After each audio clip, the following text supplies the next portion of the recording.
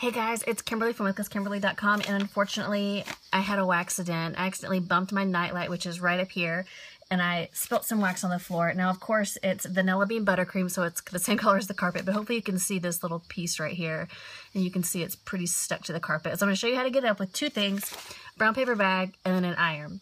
So I like to just put the iron on for a little second and then you can pull and you can see that the wax is starting to melt and be soaked up by the brown paper bag. You just do that a few times. And then this brown paper bag is going to soak up all of that wax.